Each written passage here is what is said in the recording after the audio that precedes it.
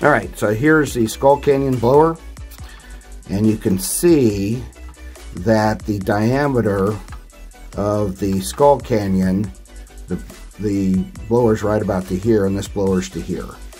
So you can see that it's close to 50%, maybe about 40% larger in diameter, almost 50.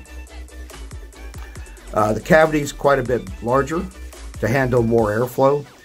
The ingestion uh, openings are bigger. We get air through the front into the top of this and air into the bottom. And so by having the uh, more uh, air ingestion area, we produce less noise. So the Skull Canyon had a single blower, this blower, that was it for the Skull Canyon. The Hades Canyon has these two considerably larger blowers. So you're going to get a, a, lot better cooling. These blowers can probably, I mean, one of these blowers could run at half the speed to get as much as this does at full speed.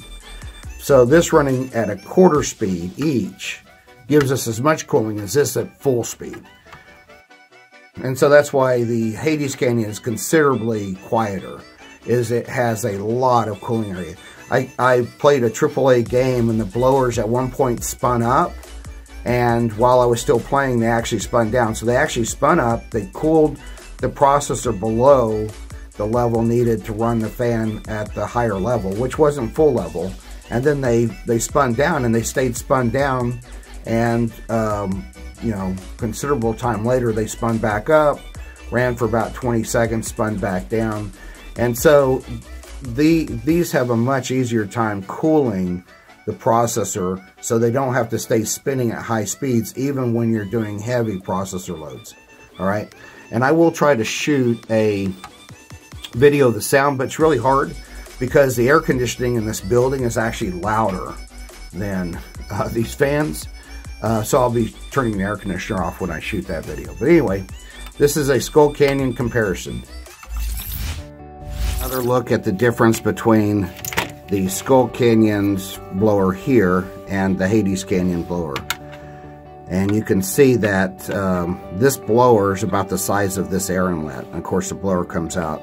The blower actually comes right to this edge. So the blower's to about here. And so when I put this one lined up, you can see this blower is about 50% in diameter bigger. So considerable air. The way this is shaped is uh, right here, the blades get really close to the side, and then as the air uh, is thrown out, there's a chamber, and this chamber grows in size as it goes around, so more air can be thrown into the chamber, and then the air comes out. So the air going through here goes out, but the air going through the blades at this point has to go all the way around. And that's why this grows in size as it comes around. So taking a look between the two, you can see the difference this is a Skull Canyon, and there's only one of these in a Skull Canyon. And this is the Hades Canyon, and there's two of these. So if this gives us uh, probably close to double the airflow, then this running at full speed is this guy running at half speed. And since we have two of these, that means this guy, at, if it runs, if both of these run at a quarter speed, it's doing as much air as this one at full. This is cooling a 45 watt processor and these two are cooling either a 65 watt or 90 watt uh, processor, actually 100 watt processor. So there you go.